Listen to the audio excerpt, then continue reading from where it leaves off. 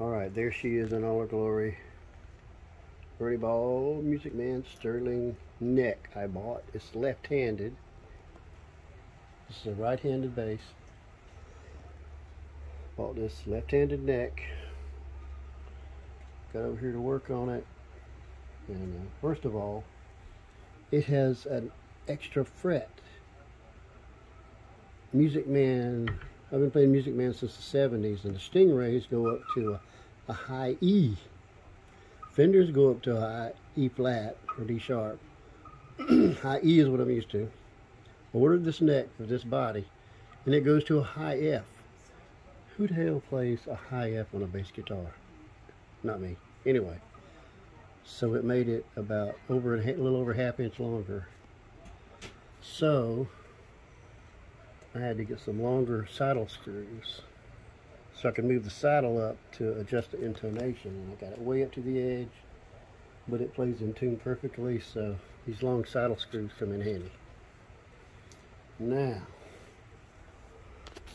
I went and put the keys on. And the keys didn't fit because I had right-handed keys. This deck didn't come with keys. So I had three G-string keys from three basses. Good thing we got a lot of basses. So I'll order me some more keys. And it plays beautifully. Feels nice. The neck didn't fit the neck pocket. So I had to get a Dremel tool and Dremel like crazy to get it to fit. Then I put it on and I couldn't get the screws tight all the way because you know I had to drill uh, pilot holes because you know it's a new wood. And then I ended up they wouldn't screws wouldn't go in without stripping something out. And so I cut the end off the screws so I can get it in there. And it worked out good. Deposit.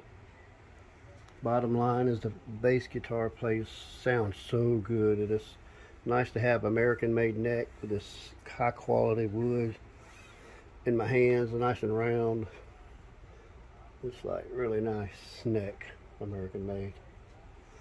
And the pickup sounds real high-endy because I had to move the saddles way up because the neck was longer to get the intonation set. And I got it set perfectly, by the way.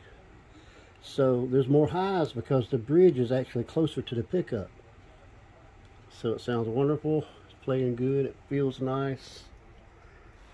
Oh, it was a lot of work, but it was worth it. Yeah, yeah. Dig on that all day long, baby. Okay, one more thing. I got the bass together, put a strap on.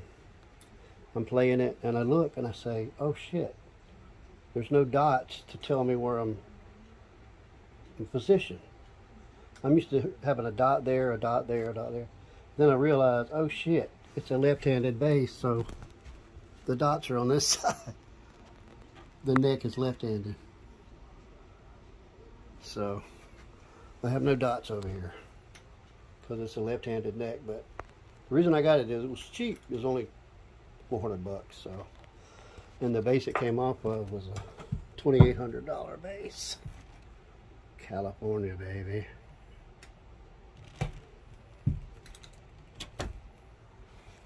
What I'm talking about. California.